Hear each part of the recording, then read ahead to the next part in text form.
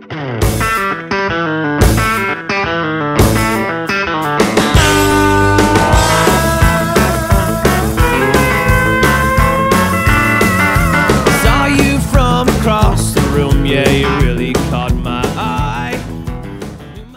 folks, Mike here with You Betcha Outdoors. And we're going to share with you a tool that we found that makes filleting a lot easier, and that is the Filet Claw. The Filet Claw was designed by a fisherman in Michigan, and it's a pretty simple design. It has several sharp teeth that allow you to hold the skin down and to get the rib bones off and hold the fillet in place. It also has a bottle opener and a slight bend, which allows you to lift the teeth up and reapply pressure. So if you're not quite in the right spot the first time you're using it, you can make that adjustment easily. This allows you to clean your fillets without the fatigue, and it also keeps the fillet in place and doesn't slide around when you're trying to get those rib bones out.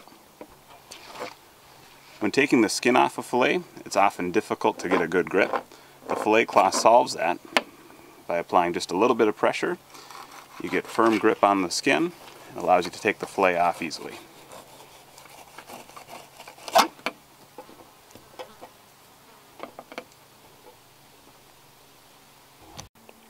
Consider adding the Filet Claw to your tackle box. It's an affordable option. We'll put a link in the description below where you can get your own.